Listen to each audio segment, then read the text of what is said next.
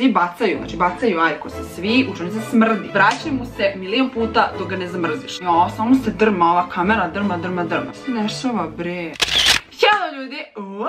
Hello ljudi, dobrošli u novi video. Posljednji put kad sam snimala ovom kamerom, sam bila u pelenama.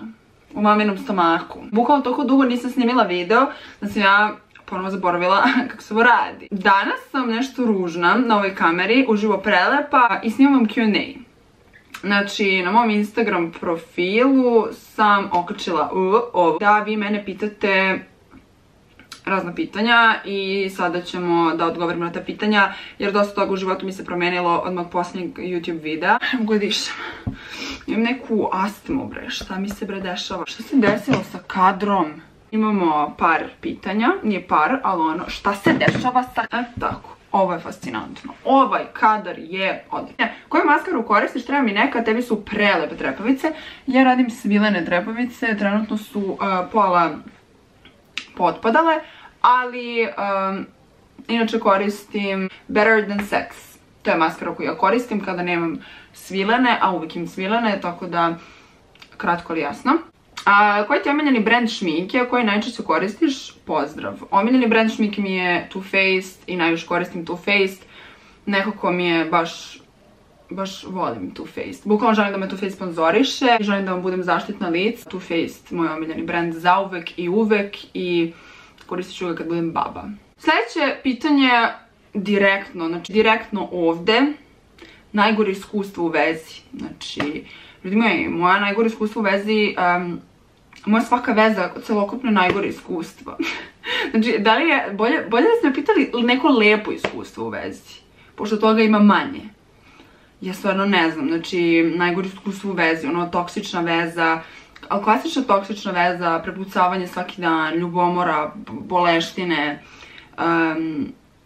ma svašta, svašta. Taj dečko se svađa s mojom mamom, ma, ma svašta sam ja, ja doživela i svašta sam ja prošla ali najgore iskustvo, stvarno ne znam da li imam jedno lepo iskustvo.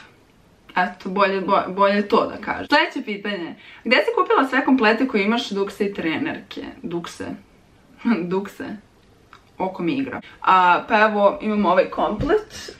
imam još, znači imam četiri sized, na Instagramu size 2 official. trenerke, ostale ne znam iskreno ili Zara ili Ojšo, Ojšo ima dobre komplete. Ja volim tako da mi je udobno i ja stalno nosim trenerke što ste mogli da zaključite do sada. Mm, I eto, ja kad ne znam što da obučem, samo obučem komplet. Mislim, ne mogu sad ja kao smišljam outfit. Mislim, dođe se vratno deseti sad kad smršam, pošto sam na dijeti opet. Pa ću kao krenuti malo lepše da se oblačim, a do tad vidite me u džakovima. Šalim se, smršala sam Smršala sam tipa 3-4 kile već, tako da. Sljedeće pitanje, single ili veza? Mislim, ako se odnosi na to da li sam trenutno, trenutno sam single. Single kao, ne znam, single kao, da. A sada me pitate da li mi je bolje kad sam u vezi ili kad sam single, volim početak veze, znači volim muvanje i to, sam početak kao prvih mjesec, dva, to mi je ono kao naš prelepo, kao sve super, kao leptirići, dopisivanje, posle posle smori. Znači, mene posle, šest mjeseci me, ono, smori me, ako ćete iskreno. Osim ako se baš ne zaljubim. Ovaj, ali kao mnogo lepše biti single. Ali single ono da te boli uvo za sve.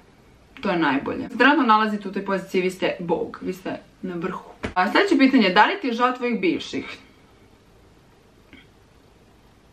Ne mogu da kažem da mi je žao, ne mogu da kažem ni da nije, zato što kao, uh, ja te provozam, e, znači ne bude ti dobro, ali kao kad te volim onda te baš volim, mislim. Žao mi i nije mi žao. Žao mi je jer neće ponovo imati takvo iskustvo, ali nije mi žao jer su sami krivi za to, tako da. Sljedeće pitanje.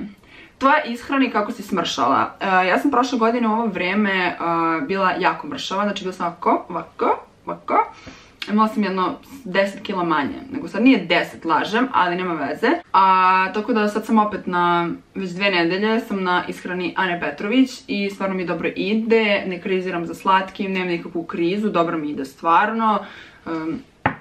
I odlučila sam da do leta budem bomba. Dinamit. Priči nam više o tvom autu, kako se snalaziš u vožnji, jel si zadovoljna, jel si zadovoljna njime, njem disleksiji.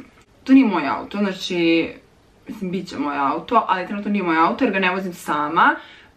jedino ga vozim sa tatom, to je tata sedi pored mene, zato što moji roditelji smatruju da još uvijek nisam spremna da vozim sama, zato što se mnogo, kako oni kažu, bahnališem, bahatim, kao to meni to jednostavno ne treba da radim jer kao neko će da me prebije. Tako da eto, još uvijek sam u tom procesu kao malo vežbanja, ali ako Bog da još malo ću krenuti da vozim sama. I onda svaki dan drugarici ja idemo na neke, ne znam, putovanja. Montana priča lagana, ja i moja mala, idemo do Lugana nosi se samo, do čega bana. Montana je moj idol i ja i moja mala. Kad se prvi put dobila? Pričala sam ovome u Girl Talku, mm, ali imala sam 12 godina, to je bilo 2016. na moru, ja sam bila ono nije to, nije to menstruacija, to nije to, ja sam odbijala da verujem da je to menstruacija i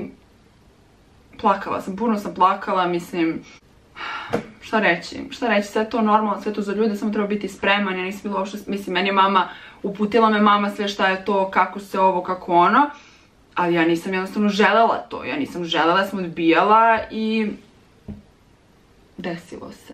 omiljeni parfem. Prvi je kao basic, good girl, um, svaka prosječna beograđanka tako miriše. Prada Kiss. I ova dva, neću da vam kažem kako se zovu, da me baš u potpunosti ne iskopirate. Kakav sam ja gatekeeper? Znači, ja sam takav vološ, kao ja neću kažem ljudima, ne zanima. Ko ti je bio prvi dečko? Prvi dečko mi je bio u šestom ili, ne, početak sedmog razreda, ja mislim. Da, početak sedmog razreda, bili smo zajedno osam dana i, da, tačno osam. Od 24. septembra do 8. oktobra, pa to nije 8 dana. Do 2. oktobra, da, do 2. oktobra. I on sad ima dete. Srećna. Šta najviše voliš kod sebe? Pa ajde kao reću fizički, volim kosu, volim oči, zube, volim, sve. Volim sve, ali eto kao... Osmeh. Kako je kiselo bilo, nema veze. Najneprijatnija situacija u školi. Što se dešava sa osvetljenjem? Bilo ih je mnogo, s obzirom na to da je moja škola bila sprdnja, bukvalno sprdnja. Mislim, ja obožavam moju srednju, ali kao bilo dosta neprijatnih situacije. Svetila sam se, nije moja priča, ali jedna drugarica, mislim, mi smo u čuonici, ona svi puše ajkose, svi puše pafove. I jednom je drugarica ovako na odmoru, jel te, pušila unutra onaj, kako se zove to? Nije ni vape, nije ni paf, nego kao nešto se puni uljem, nemam pojma. I ulazi ono, jedna od najstražih profesorki, ono mi napravili, znači hot box. Znači hot box je napravljen od učionic, dim na sve strane, i ono ga razduvava, znači nikom nije jasno ona ulazi ovako, svi bacaju, znači bacaju ajkose, svi, učenica smrdi. Znači naša učenica je večito smrdela. Kogod da je ušao u našu učenicu, oni su mislili da su ušli u neku gasnu komoru. Znači, mi smo bili poznati kao smrdljivo odeljenje. Ne znam da, da smo mi smrdeli, da šta je u pitanju, ali ja tamo nisam mogla da dišem. Znači, ja sam bukvalno u, učionici ono, čepić u nos i to ti je to. Znači, inače ne možeš da preživiš, smrdljivo odeljenje. Profesorka ništa odvela, znači odvukla drugaricu kod direktora. Još je tad bio 1. april, sećam se, ona je zvala mamu da joj kaže kao da je kod direktora neki disciplinski postupak ovo ono. Njena mama je mislila da ona nju sprda kao 1. april, kao što me sprdaš ovo ono. Mama, stvarno nije, ne sprdam. I eto tako, mi smo stalno smrdeli i pravili sram. Raspravila sam toksičnu vezu stoti put kako da se ovog puta stvarno završi. Ljudi moji, kada bi vi znali koliko puta sam ja raspravila i mirila se sa bivšim dečkom, ne znam, znači ne znam, ja se, zalažem, meni je to rekla drugarica i smatram da je to 100% istina. Date him until you hate him, znači bukvalno vraćaj mu se milion puta dok ga ne zamrziš. I ja sam se toliko puta vraćala, vraćala, vraćala i onda samo počela da te nervira, počela da te nervira način na koji on jede, način na koji on žvaće hranu, način na koji diše, kako spava, znači sve te nervira, bukvalno ga mrziš, ne možeš da ga gledaš očima, ne možeš ga gledaš, teško ti je da ga gledaš, povraćati se kad ga vidiš. Tako da, samo se vraćaj i svaki put ćeš da ga voliš sve manje i manje, onda ćeš da ga mrziš i nećeš moći da ga gledaš. Šta najviše voliš kod sebe? Karakter. Ajde da izdvojim što volim, mislim, ne mogu kažem za sebe kao duhovita sam, smešna sam, to je jako nezahvalno, kao ne mogu kažem ja, ja sam smešna, ali mogu da kažem da sam harizmatična kao prirodna sam. Ajde, reću to, volim što sam prirodna. Znači, kad, upoznam nekoga, nikad se ne foliram, ne volim te ljude koji se kao foliraju, ovo ono, 100% kao keeping it 100. Kao, jako sam prirodna i ne trudim, znači mrzim te fake, fejkare, kao, a jel su te prijatelji hejtovali kad si tek počela da snimaš? Ne, iskreno, nikome nije hejtovalo, meni su kao ljudi u odeljenju um, govorili stalno, znači ono, prva, druga godina dok nisam kao krenula da snimam, kao Elena ti moraš da snimaš za YouTube jer kao ta TikTok nije bio aktualan u prvoj godini. Oni kao su mene bukvalno ubeđivali, na ti moraš, ti moraš ti si za to 100%. Zato što sam ja do tad stalno na svoj privatni profil kao snimala neke vlogove, editovala to i kačila. I, ove, i svi su mene bukvalno ono, se smejali na to, svi su bili u kakav si, si debil, bog, ajde kao snime, snime, snime, jer ako nešto se blamira. Evo me sad ovde, i ništa ne radi. Koliko ti je trebalo vremena da pređeš preko neke osobe sa kojom nisi ni bila? Ovo je jako čudno pitanje. Ja, uh, mislim ovo što sad užasno da zvuče, ja sam bila sa svakim dečkom sa kojim sam htela. Osim sa jednim. Znači samo s jednim dečkom nisam bila. Da preboliš, uh, ne znam, ja sam uvek kao, e, sviđaš mi se, ako hoće da se smuva sa mnom, hoće, ako neće, jednostavno neće i ne mogu da promenim ništa u vezi toga neće bude sa mnom, preboleću ga. Mislim, on ima opciju da bude sa mnom i on bira da ne bude. Šta je više tu mogu da uradim? Šta je više tu mogu da uradim? Ništa. Tako da jednostavno nastiš dalje. Mislim, lakše je reći nego uraditi to, ali mislim u glavi kad skapiraš, on može da bude s tobom, ali ne želi. On tebe ne želi. Šta više tu da tražiš? Znači ono, circus. Posljednje pitanje za kraj, zašto nemaš dečka? Zato što sam previše lepa za sve i nikome ne zaslužuje. pa ne, mislim, prosto nemam ga. Nije došao onaj pravi, niko mi se ne sviđa i svi imaju neke loše fore koje mene uopšte mi se ne sviđaju, cringe su i ne, ne dopada mi se niko. Eto, to je bilo to što se tiče... Sam ja to pljunula. To je bilo to što se tiče ovog videa. nadam se iskreno da ste uživali. Ja sam uživala malo da pričam s vama. Pišite mi u komentarima šta želite da vam snimim kao sljedeći video, pošto moja inspiracija za YouTube je ravno nuli. Subscribeite se na moj kanal.